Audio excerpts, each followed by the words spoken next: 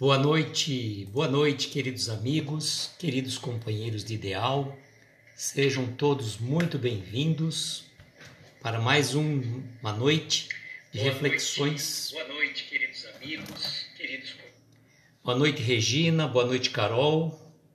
Boa noite, eu, pelo meu perfil particular. Vocês estão me ouvindo bem? Eu gostaria de saber. Boa noite, Maria da Conceição.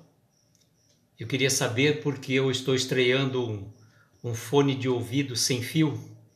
Então eu queria saber de vocês se estão me ouvindo bem, se está bom o áudio, a imagem. Estou acompanhando aqui pelo meu perfil também, tá para ver, né? Mas eu queria ter um feedback de vocês aí para saber se vocês estão me ouvindo bem, para a gente poder dar sequência, né? Deixa eu fixar o comentário enquanto isso. Olha, eu falo, vou fixar o comentário, minha querida Babi chegou. Minha querida Babi chegou. Opa. Bem-vinda, querida. Pronto, fixar o comentário. Babi, a gente precisa explicar para a Elizabeth, ela está com dificuldade também para fixar o vídeo. É, o áudio está bom, então tá ótimo. É que eu estou usando um fone sem fio e eu ganhei. Eu estou experimentando para ver como que funciona, né? Interessante. Vocês estão me ouvindo bem? Tá muito bom. Vamos mandar os aviãozinhos, né, para os nossos amigos queridos. Boa noite, Despertar Espírita, seja bem-vindo. Nós vamos aqui encaminhar para os nossos queridos amigos que sempre estão conosco nas nossas lives, não é? E aí a gente vai dar início a nossa o nosso bate-papo da noite. Eu falar uma coisa para vocês que eu estou estava é, fazendo mais ou menos a estimativa é, que a gente vai estar mais ou menos levando o nosso projeto até mais ou menos começo da primeira semana. Boa noite, João Carlos, seja bem-vindo. Maria da Conceição, para mim está ótimo. Então tá bem, gente. Que bom. Vocês estão me ouvindo? Tá muito bom. Eu acredito que a gente vá com o projeto do livro Escalada de Luz até o comecinho de é, maio. Até o comecinho de maio. Boa noite, Elizabeth. Elizabeth, estava falando no seu vídeo hoje que você está com dificuldade de fixar o comentário. É, bate um papo com a Babi depois que ela te explica direitinho. Ela me explicou como que funciona e aí eu acabei aprendendo, tá? Acabei aprendendo e, e um teste muito legal para a gente aprender a fixar o comentário é o seguinte: é, um certo dia assim, bem, bem tarde da noite, quase meia-noite. Boa noite, Morgana, seja bem-vinda. E o que, que eu fiz? Eu peguei, fui fazer uma live, mas joguei o celular, a imagem do celular, por uma parede em branco. Então, nessa aqui que eu fiz, eu fui fazendo todo o teste, não falei absolutamente nada, ficou uma live numa tela em branco, quer dizer, no fundo né, da parede em branco, e aí eu fiz o teste de fixar o comentário, fui treinando várias vezes e não salvei a live. Mas ficou interessante que algumas pessoas acabaram entrando. Revista Espiritualista e Marquinho, boa noite, sejam bem-vindos. Então, Elizabeth, quando você for fazer o treino para fixar o comentário, você faz isso. Você pega assim de madrugada, meia-noite, hora que você for, antes de você dormir, por exemplo, vai ou logo cedo, tanto faz. abre uma live e joga a tela é, na parede. Então não vai aparecer você, uma parede em branco que fica muito fácil né? Porque aí você não vai ter nada que identifique você tudo mais. E aí você vai treinando fixar o comentário. Fixar o comentário, eu vou explicar mais ou menos, mas depois você pede para a Babi que ela te explica com, com maestria, né? Que a Babi é mestre nessas coisas. Você escreve um comentário como se você fosse comentar a live, tá? Por exemplo, o que, que eu fiz? Eu já deixei salvo esse, esse, essa, essa mensagem no, no, num, num perfil, num, pelo meu WhatsApp, por exemplo. Copiei, ficou copiado, né? E aí, cheguei aqui, eu colo o comentário, não preciso ficar escrevendo, eu já colo o comentário e aí eu adiciono o comentário, ele sai na tela. Aí eu dou dois toquinhos nele, no meu comentário, e aí vai aparecer fixar comentário. Você clica em fixar comentário. Aí ele fica fixado. Não tem segredo, mas a Babi é mestre, ela te explica depois, tá bom? Então, estava falando para vocês que eu estava analisando mais ou menos o nosso escalada de luz né, do Jerônimo Mendonça. Ele deve ir mais ou menos até praticamente a primeira semana de maio. E qual que é a situação? Quando terminar esse livro, vocês já viram que eu recebi lá do Lar Espírita Pouso do Amanhecer de Ituiutaba, Corações Queridos, lá me mandaram vários livros do Jerônimo Mendonça. O recado foi assim, ó, tá aí, ó, só não trabalha se não quer agora, material você tem. só não trabalha se não quer. Eu lembrei de uma frase muito engraçada. Eu vou fazer esse bate-papo explicando para vocês. É, no local que eu trabalhava, né? Trabalhava numa cidade próxima aqui. Boa noite, Carlos, seja bem-vindo. E quando nós mudamos de prédio, foi, foi feito todas as adaptações e muitos dos, é, como é que fala, dos nossos, das tomadas eram tudo corriam pelo chão e ficava às vezes uma situação desconfortável. O que acontece? A tomada que ligava o meu computador ficava exatamente no meio onde eu ia com a cadeira. Aí, que, que, qual que seria a lógica? Você puxar um pouco mais de um outro lado, porque não dava para você trocar a posição do computador, da mesa. Você tinha que mudar a instalação, não tinha outra, outra solução. Ou então fixar numa parede, que a minha cadeira ficava próxima, é, próxima da, da, da parede, né? Aí, com muito custo, nós chamamos o pessoal da elétrica. Ah, seu livro chegou, João Carlos? Que ótimo. Boa noite, Francine, seja bem-vinda. E aí nós chamamos então o pessoal da elétrica para vir fazer o serviço. E aí o rapaz, né, chegou lá com muita boa vontade, com muita boa vontade, né? Ele chegou e com, pegou e mudou, o, ele colocou a, a parte elétrica na parede, né? Aí foi embora resmungando falou assim: agora só não trabalha se não quer. então eu também, agora, gente, eu só não trabalho se não quero, porque material nós temos há uns montes e já estamos pensando num projeto novo, vinculado, obviamente, ao Jerônimo Mendonça. Estava trocando uma ideia com a Ana Paula, que é, que é do perfil Jerônimo Mendonça, OGD, que faz várias divulgações do trabalho, do, do, das obras do Jerônimo e tudo mais, né? E eu estava conversando com ela e a gente está pensando em montar aí um, um projeto diferenciado, e mas seria logo no término do, do Escalada de Luz. Mas nós estamos ainda confabulando ideias, tá bom? Bom, vamos lá a nossa mensagem da noite. Veja só, sempre falo para vocês, o título da mensagem não é por acaso.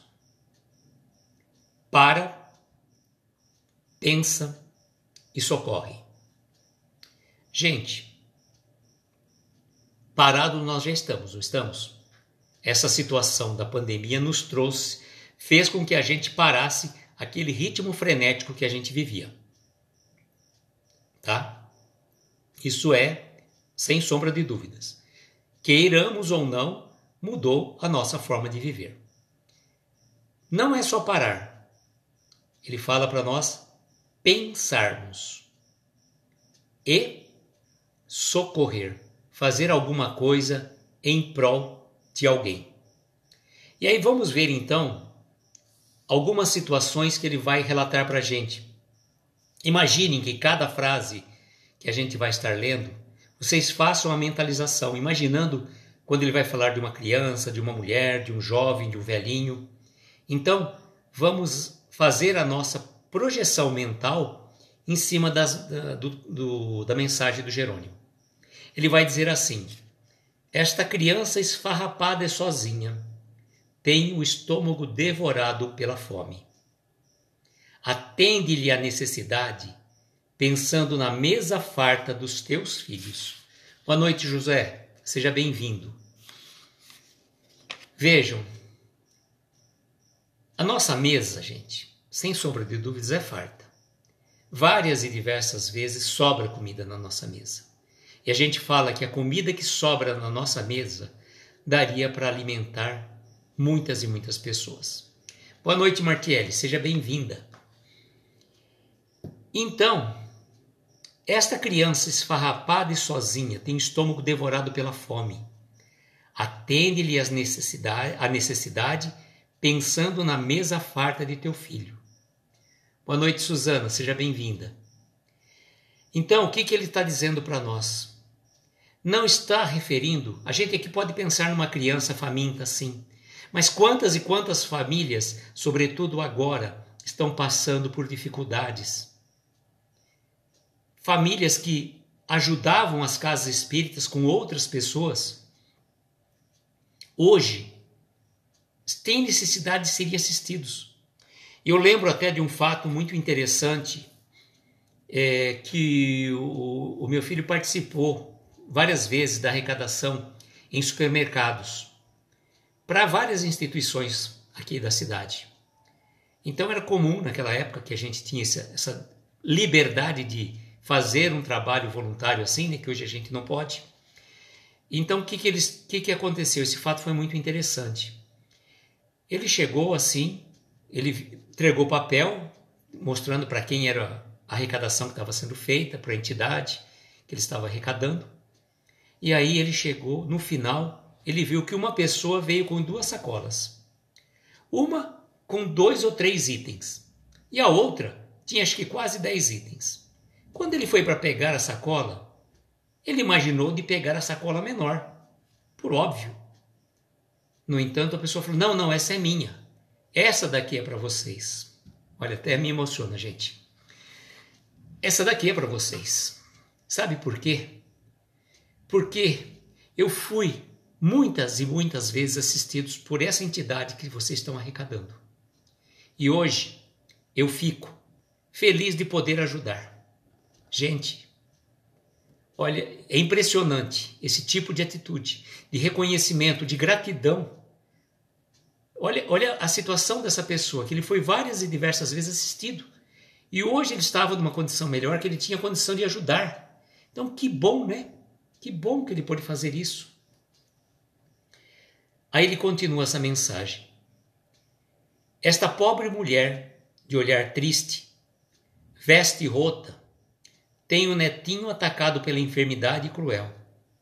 Estende-lhe a moeda generosa, pensando na saúde que desfrutas. Gente, é aquilo que eu falo, né? Só da gente estar com paz e com saúde, a gente não precisa mais nada na vida. Não precisa mais nada. Tendo paz de espírito, tendo saúde, o resto, gente, é de menos. Então vejam quantas e quantas pessoas estão doentes, estão acamadas, tanto doentes as físicas, principalmente nesse momento, como também principalmente as doenças da alma, aquelas que falam fundo, que nem o remédio resolve, o remédio ele se toma um momento ali, dá um efeito rápido, dali a pouco volta de novo aquela angústia, aquela depressão. Então, olha essa situação, se você pode ajudar, busque ajudar de alguma forma, não sei. A gente não sabe, a gente tem que lembrar que Deus ajuda as pessoas e se serve das pessoas para ajudar as outras pessoas. Então nós, quando surge uma oportunidade, não vamos pensar se a gente deve fazer ou não, faz. Ajuda. Faz o que você pode fazer. Quantas e quantas pessoas, principalmente na nossa cidade, estão praticamente há um mês sem trabalho, 15, 20 dias sem trabalhar, sem poder trabalhar, e têm as suas contas a pagar. Então, vamos fazer, ter aquele momento de empatia, né? se colocar no lugar do outro, ter essa possibilidade, essa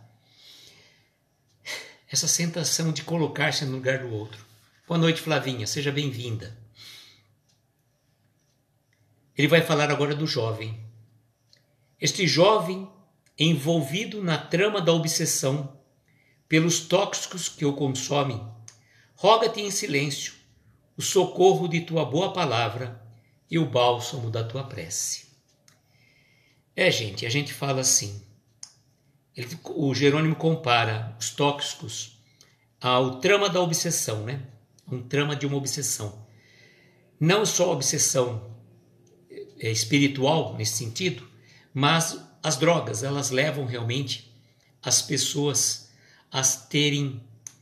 É... Ô Alessandra, eu não falei o teu nome, me desculpe, viu, Alessandra? Agora que eu vi, que eu, eu colhei, eu vi a minha colinha aqui, a gente demora um pouquinho para fazer a ligação dos nomes com as pessoas, mas seja bem-vinda. Olha, gosto muito das suas postagens, viu, Alessandra? E então o que ele estava dizendo aqui, ó? Quando se pensa nos vícios das, das drogas, por exemplo, realmente existiu um momento, um motivo que levou aquele jovem a procurar aquele caminho.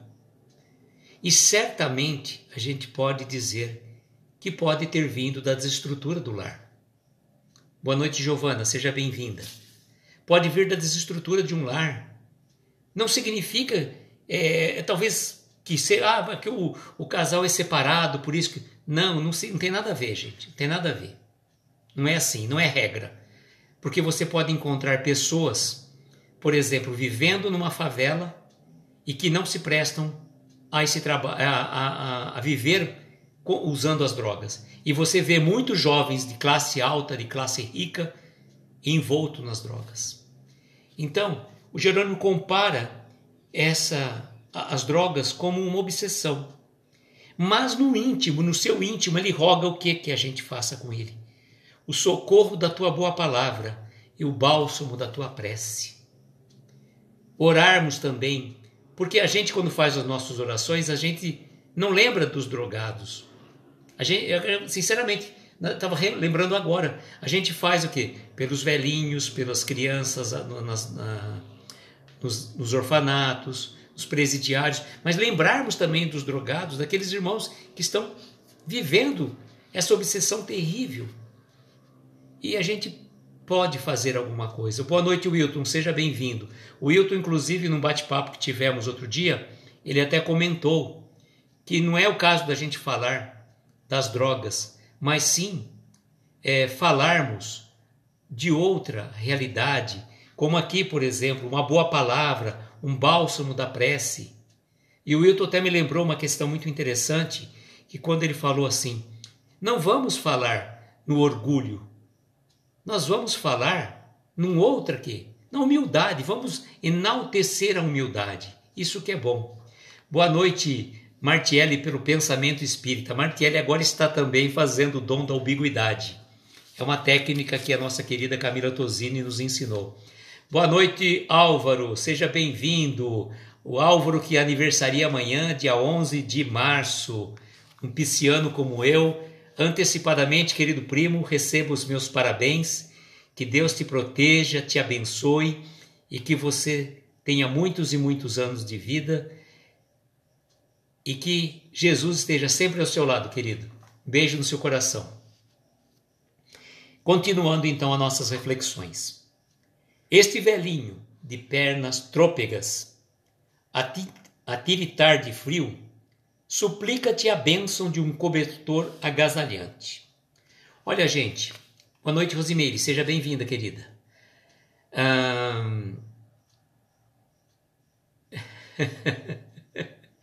é nós, é nós mesmo, né? Então veja aqui, ó, esse velhinho de pernas trôpicas a tirintar de frio suplica-te a bênção de um cobertor agasalhante. Olha o que a gente pode começar a pensar a fazer. O Wilton não tem esse problema aí no, no Nordeste, né, Wilton? Sinceramente, frio para você deve ser uns 30 graus mais ou menos, né? A gente imagina. Nem você, nem a Babi.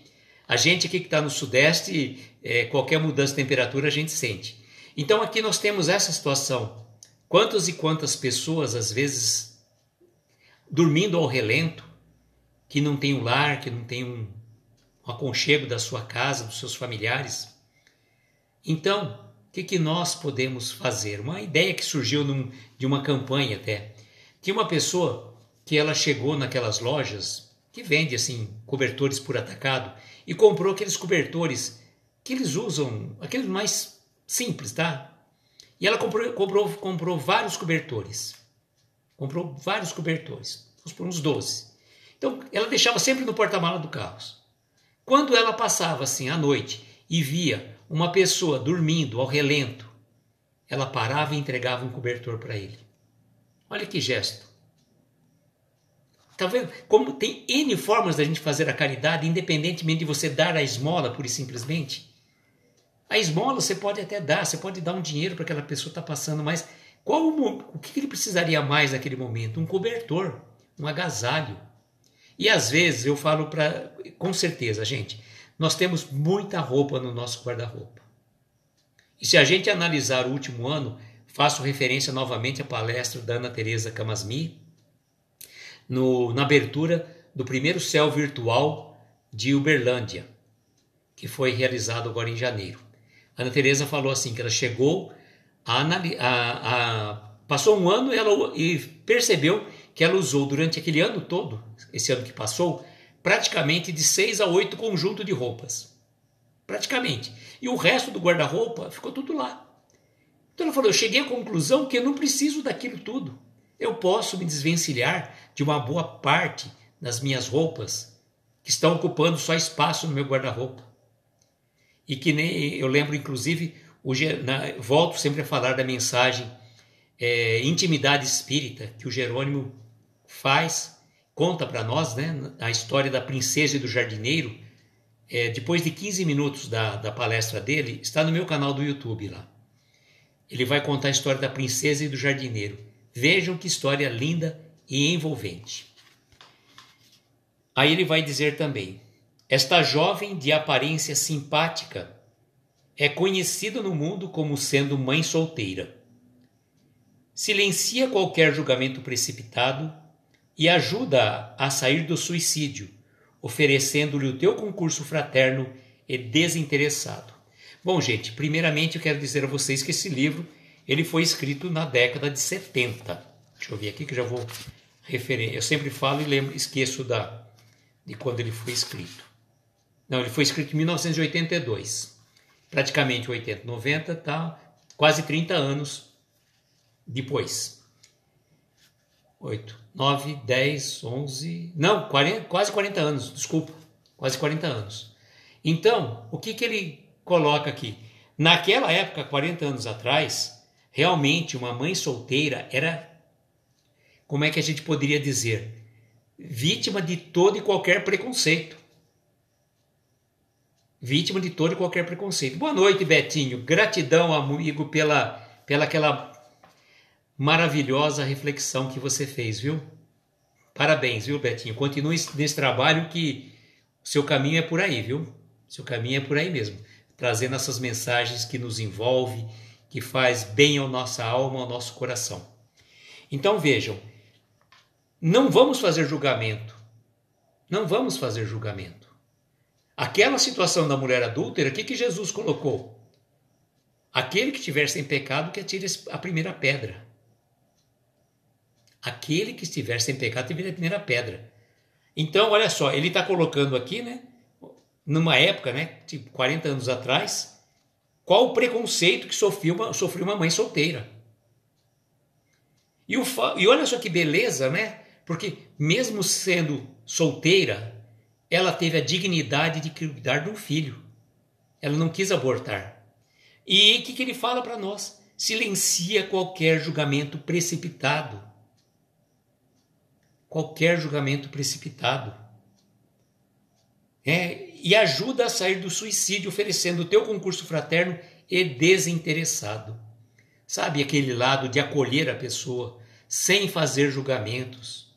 Boa noite, Ed. Seja bem-vindo, querido ele vai continuar dizendo também para nós: aquele Senhor que carrega consigo a cruz de ouro da fortuna é um pobre escra escravo da aflição e da insônia. Auxilia-o com os teus pensamentos de paz, com o teu sorriso fraterno. Gente, muitas pessoas falam assim: eu gostaria de ganhar na Mega Sena. Boa noite, Natália, seja bem-vinda. Eu gostaria de ganhar na, na Mega Sena. Vamos pensar que nós temos paz de espírito, nós temos saúde. Se a gente ganhar na Mega Sena, gente, nós vamos perder os dois, pode ter certeza absoluta. Nós não vamos ter mais sossego. Nós não vamos ter mais paz. Vai ser um monte de gente pedindo, pedindo, pedindo, pedindo. Então vamos nos contentar com aquilo que temos. E eu lembrei até uma história do Clube dos 99 você já deve ter ouvido. É, é mais ou menos assim. diz que um rei tinha um servo que era muito contente. A, a Rosemary falou que eu tenho um, se passou um ano usou aquelas peças que não tenho, retire e faça doação. Muito bom, parabéns.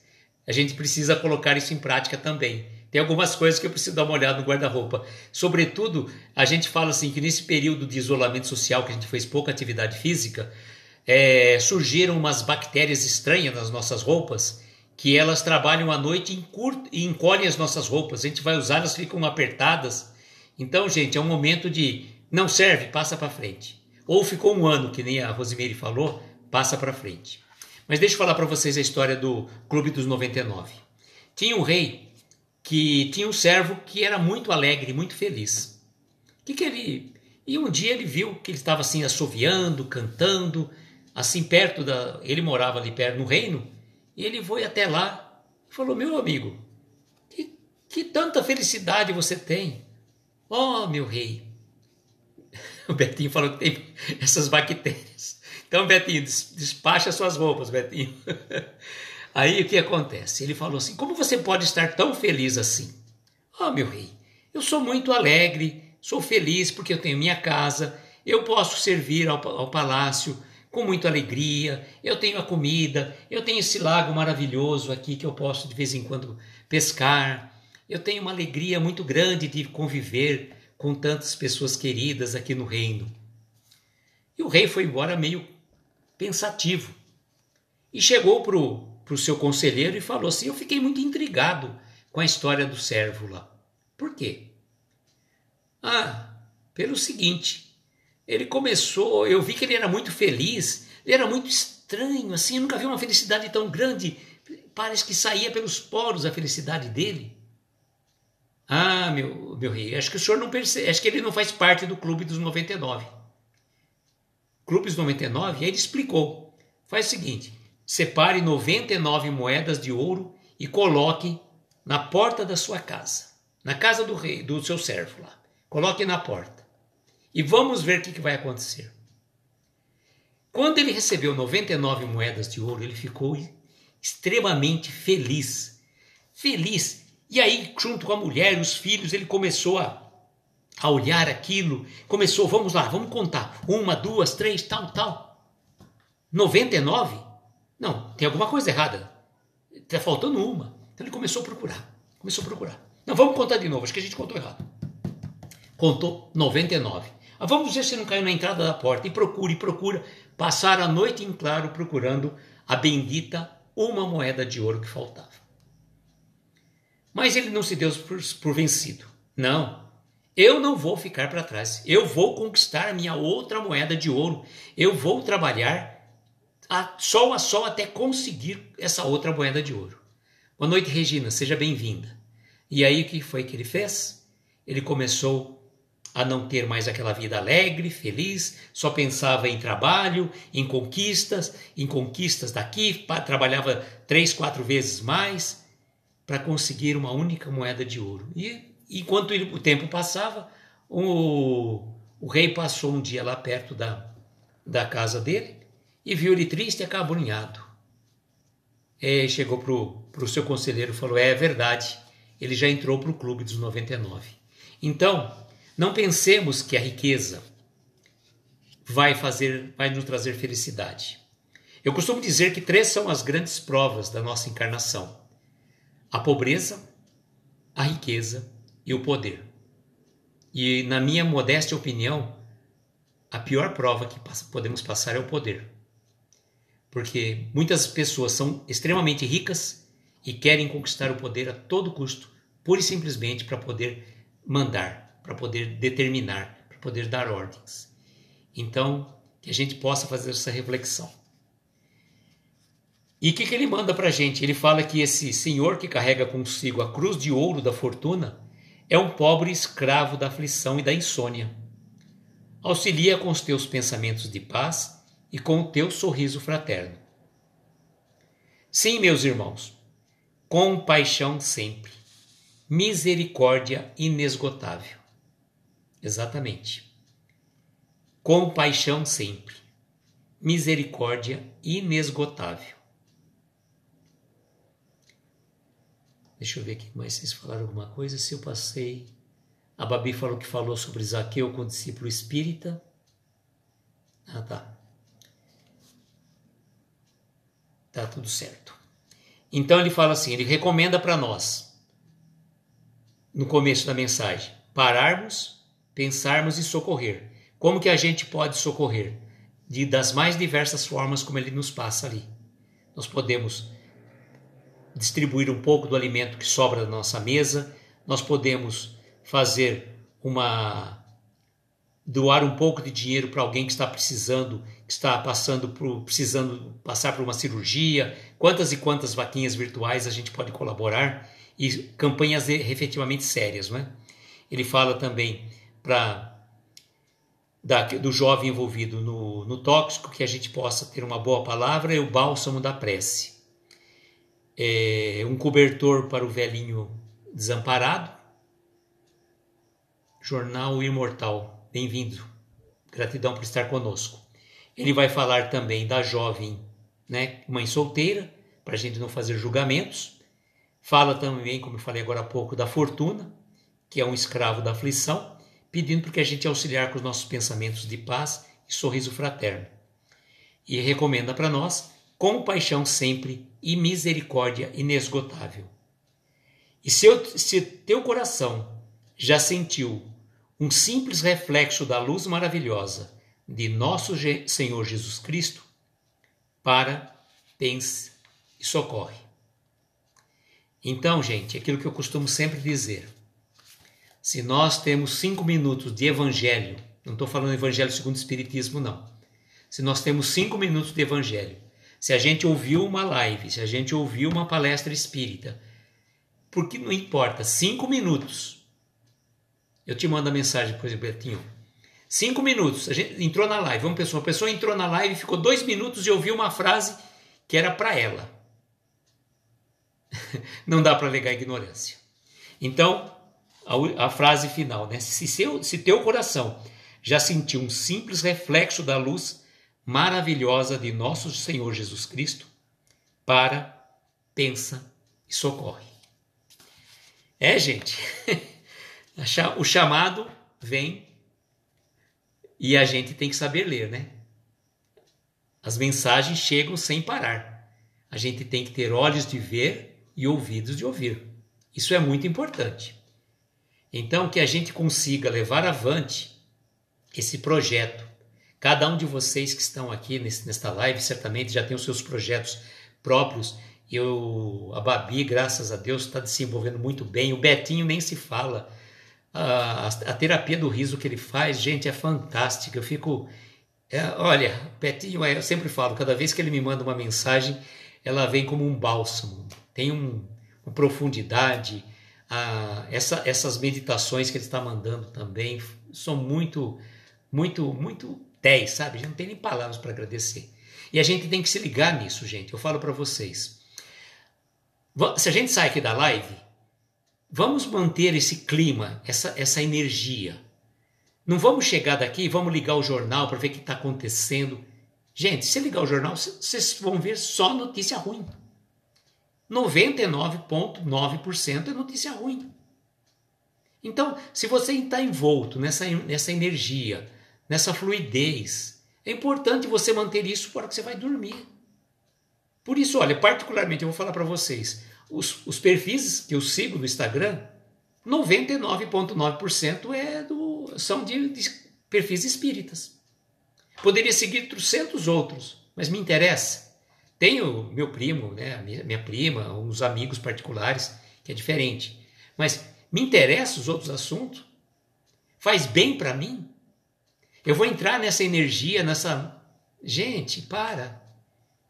Nós não estamos dizendo que a gente é melhor que ninguém, mas a gente tem que cuidar da nossa higienização. Que eu falo, não adianta você ir lá e tomar vacina física. Claro que adianta, corpo físico. Se você mantém pensamentos deletérios, se você mantém aquela energia não boa para você. Então o que, que a gente tem que fazer? Vai no posto de saúde, toma vacina quando chegar a sua vez, nada de furar fila. Não, gente, pelo amor de Deus. Isso é insano. Isso é, é, não, não dá nem para falar nada, nem, nem, nem vamos comentar para não entrar nessa situação. Olha, baixa vibração esses telejornais. E a gente não pode, a gente tem que fazer a diferença. Sabe? A gente tem que fazer a diferença. Aquilo que eu falo. A equipe espiritual, gente, está tendo um trabalho hercúleo, mas um trabalho, gente, que vocês não podem imaginar. É, lembra do filme Nosso Lar, quando aconteceu a guerra, na parte da, da guerra? Quantos e quantos amigos espirituais vieram buscar dar socorro para aqueles irmãos que desencarnaram vítima da guerra? Então imagina quantos irmãos não estão partindo para um plano espiritual perdidos, sem saber o que está acontecendo com eles. E falo para vocês, não é porque é espírita. Ah, então se eu sou espírita, eu já quando eu desencarnar, eu já vou saber exatamente para onde tem que ir. Não tem nada a ver, não.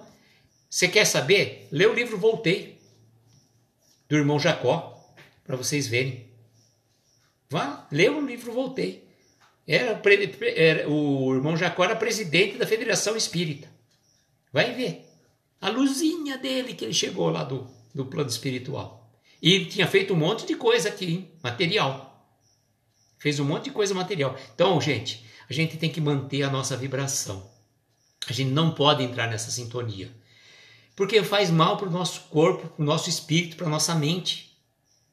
Ah, então eu vou ser que nem uma avestruz, vou enfiar a cabeça no, no buraco e fazer de conta que não está acontecendo nada no mundo. Não. Eu estou fazendo a minha parte, eu estou mantendo o isolamento, o distanciamento, estou usando álcool gel, estou usando a máscara. E até a questão da máscara, até mandei para o João Carlos uma, um post que eu recebi hoje da, pessoa, da a Rainha Elizabeth usando a máscara. Eu falei para ele postar, depois eu até posso postar, já que estou falando para vocês. Ela usando a máscara, que ela vai falando assim, que ela, que ela já enterrou oito presidentes americanos, cinco papas, passou por duas guerras, tal, tal, tal, tal, tal, e ela está usando a máscara, né? Então fala assim, que ela que é imortal, modo de dizer, que ela que é imortal, está usando a máscara. E você, que é um simples mortal, que às vezes nem plano de saúde tem, fica discutindo se usa ou não. O Álvaro está dizendo, né? Se custa a paz, é caro demais. É verdade, gente. A gente tem que manter essa energia. Vamos manter essa energia e fazer o quê? Na seu momento de prece, de envolvimento, de ligação com, a, com entidades espirituais, com o teu anjo de guarda, vamos procurar ser uma pequena chama, uma centelha de luz, que junto aos outros, que junto aos outros vão fazer o quê? Vai ajudar esses amigos. O João Carlos falou que já postou, então pronto. Vejam lá a postagem do João Carlos, J. Carlos 5.0, ele postou no meu lugar, mais fácil. é, José está dizendo, realmente, análise sempre os obsessores tinham muito mais luz. É um livro incrível. É verdade. Até me emociona, viu, José? Me emociona bastante. Então eu falo para vocês o seguinte: a gente tem que ajudar.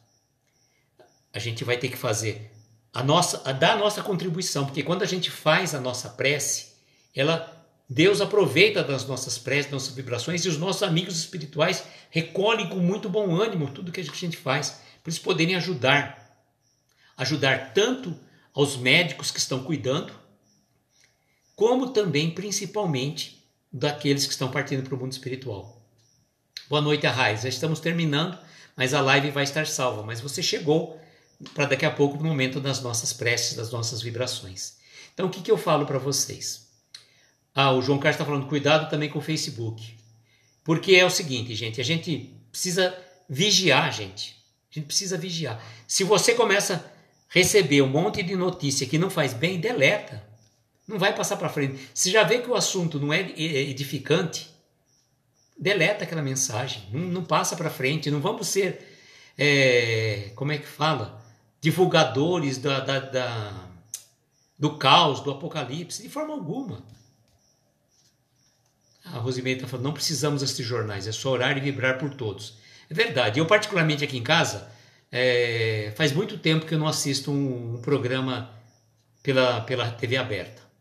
Eu vejo muito mais, eu sigo muito, vou muito mais pelo YouTube com algumas palestras, com algumas mensagens, com músicas, às vezes tem tantas músicas do Tim Jones, por exemplo, que de relaxamento, e você fica ouvindo aquelas músicas tranquilas. Olha, a Natália que trabalha no hospital está dizendo: os hospitais precisam de muitas vibrações. E eu conversando com a Natália outro dia, ela falou que realmente os casos estão aumentando. que, que a gente tem que fazer? Entrar em pânico, em desespero? Não.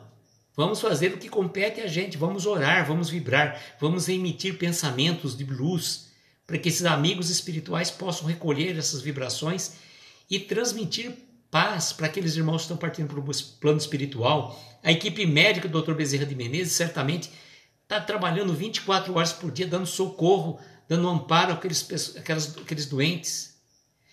E Natália, fica aquela dica para você. Antes de você iniciar as suas atividades, Natália, cinco minutos antes, se recolhe e faça uma prece. Pede assistência do teu anjo de guarda, do teu protetor, para que você possa ser intuída e levar uma palavra de consolo, de uma palavra de bom ânimo para aquelas pessoas que estão lá. E que bênção, né, Natália, você estar numa posição assim de poder ajudar nesse momento. Realmente não é fácil. E não é, eu falo assim que eu não tenho estrutura nesta encarnação para trabalhar na área da saúde. E eu admiro muito, admiro muito todos aquelas pessoas que estão lá. De médicos a atendentes, aos, aos técnicos de enfermagem, aos enfermeiros. Gente, é difícil.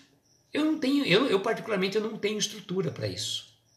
Tanto que a minha área é de humanas.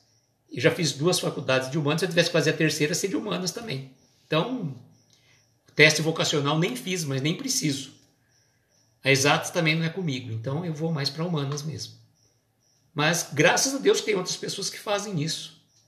A gente fica feliz, porque todo trabalho ele é útil. E o importante é a gente fazer com amor. Quando a gente põe amor naquilo que a gente faz, gente, o trabalho fica leve, fica suave. Faça o melhor que você puder, não pelo salário que você recebe, não pelo teu ambiente de trabalho, não pelo reconhecimento. Faça por você. Faça pensando que você está de alguma forma ajudando uma pessoa. Isso que é importante. E não queiramos os louros da vitória nesta encarnação. E nem vamos fazer também um trabalho pensando assim, ah, eu vou conseguir então, eu não vou ter reconhecimento aqui, aí eu vou fazer o seguinte, então já estou enviando bônus horas para o plano espiritual. O Babi está falando que todos que estão nos hospitais trabalhando são guerreiros, que sempre lutam e fazem tudo com amor todos os dias, certamente. E às vezes, Babi, tem que tomar decisões que a gente não queria estar na pele deles, não, tá? Eu não queria estar na pele, não, quando tem que tomar uma decisão mais difícil. Boa noite, Grace. Seja bem-vinda. Estamos terminando a nossa live. Ela vai ficar salva, mas, é, como eu falo para vocês, né, depois vocês podem assistir, aqueles que quiserem. E agora nós vamos para o momento de nossas vibrações.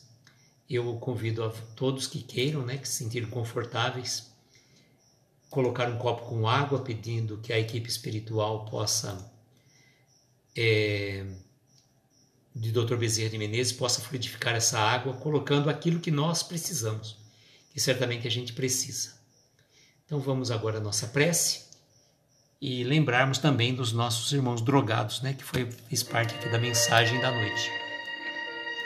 Deixa eu ver o que a Rosemary falou antes de começar aqui.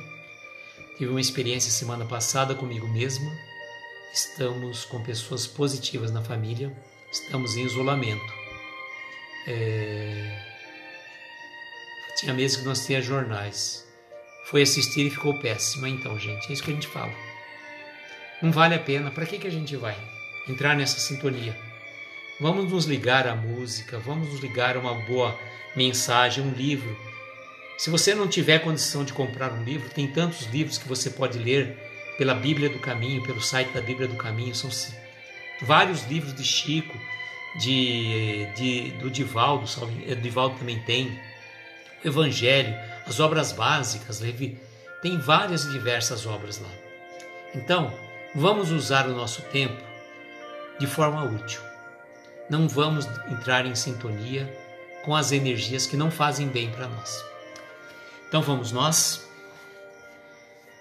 Convido então a cada um de nós aqui presente, rogando o amparo da nossa equipe espiritual, no nosso querido Jerônimo Mendonça, que nos intui na realização desse trabalho. Vamos tomarmos uma inspiração profunda, soltar lentamente o ar. Mais uma vez,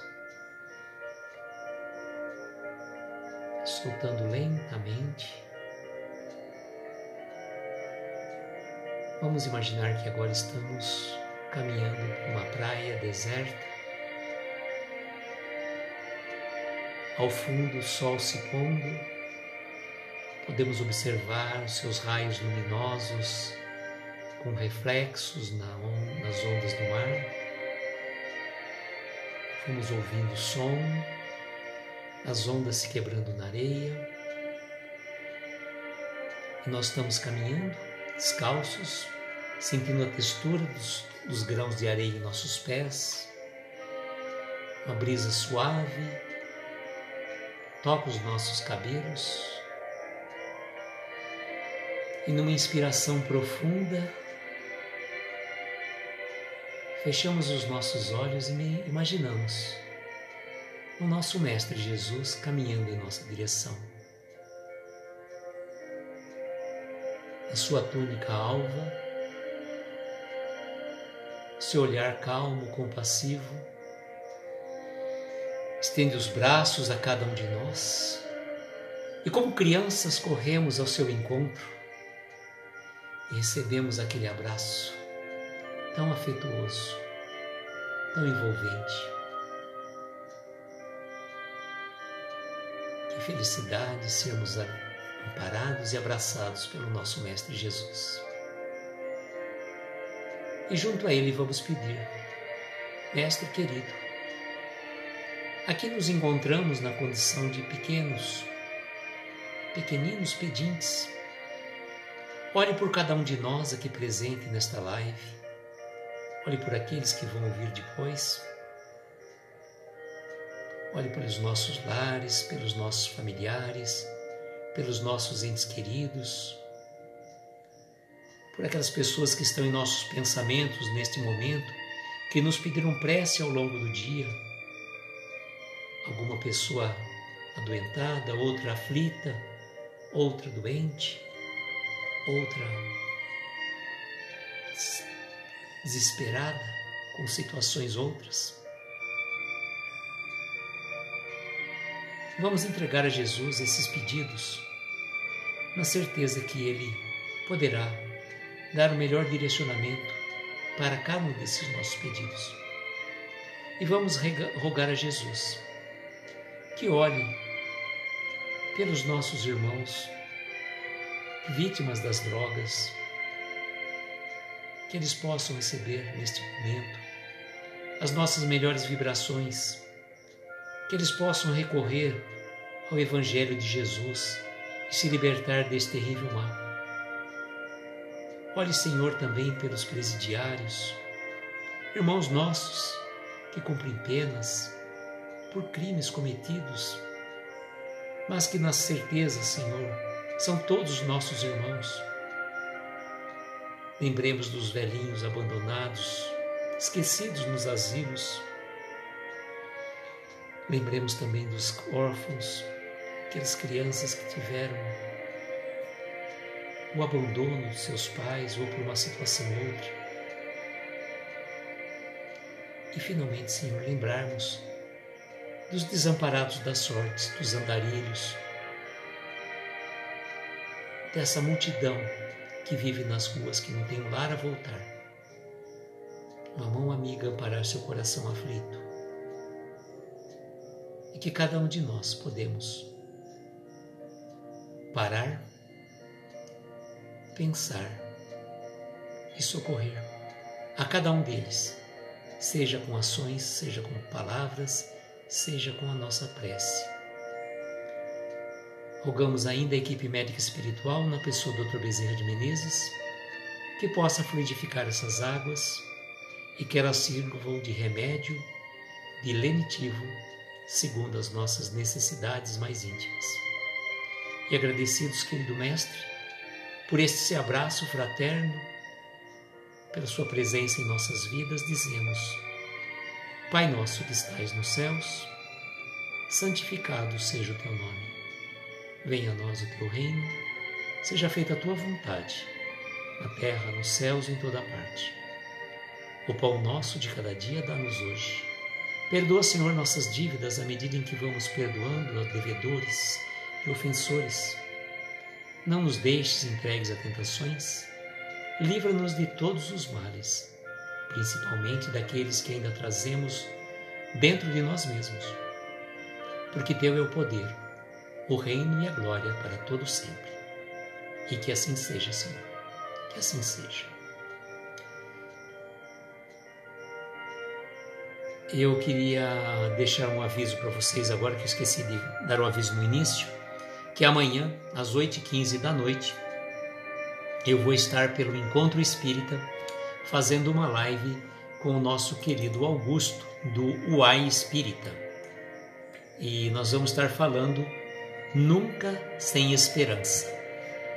A nossa querida Babi que fez a, o banner e o conversando agora há pouco com o Augusto, ele falou assim: é, nada por acaso, né? A cor do banner é verde e verde é a cor da esperança. Então que a gente tenhamos essa esperança. 8h15 amanhã, eu com Augusto, pelo Encontro Espírita, Encontro Ponto Espírita, sigam lá aqueles que, que não, não estão seguindo, mas certamente a maioria de vocês já acompanha. E no próximo sábado, no próximo sábado, às 10 horas da manhã, eu vou estar participando do, de uma live com o nosso querido Luiz Fernando, do Bom Chiquinho, e vamos estar dando início a um projeto que está Parábolas de Jesus. E eu vou estar comentando a parábola é, do semeador. não, Carlos, não é do seu time. Aqui, gente, aqui o nosso time, nós só temos um time, viu, Carlos, aqui, é Jesus. Esse é o nosso capitão, nosso comandante, como tem uma de umas traduções do Evangelho. Comandante, vamos sucumbir. Não, está no leme das nossas vidas. Queridos do meu coração, só tenho uma palavra a dizer a cada um de vocês: gratidão, gratidão por estarem aqui conosco. E amanhã, também às 10 da noite, nós vamos estar trazendo uma outra mensagem do Jerônimo. Olha só, projeto e construção. Projeto e construção. Então, aqui é mais para a área de exatas. Não, né? É, só que não, né? Não é projeto, viu, Carlos? Não é projeto e construção da área de exatas, não, viu, Carlos? Você vai ver que não é. Queridos, então, como sempre, desejo que nós tenhamos uma noite abençoada de estrelas luminosas a embalar os nossos mais belos sonhos e que nós cultivemos essa energia dessa live, levemos para o nosso momento de dormir, para que a gente possa se encontrar no plano espiritual. Olha só que coisa linda e maravilhosa, né? Que coisa linda e maravilhosa. Um beijo no coração de vocês e até amanhã, se Deus quiser. Amanhã estarei em dose dupla, tá? Beijo, gente. Até mais.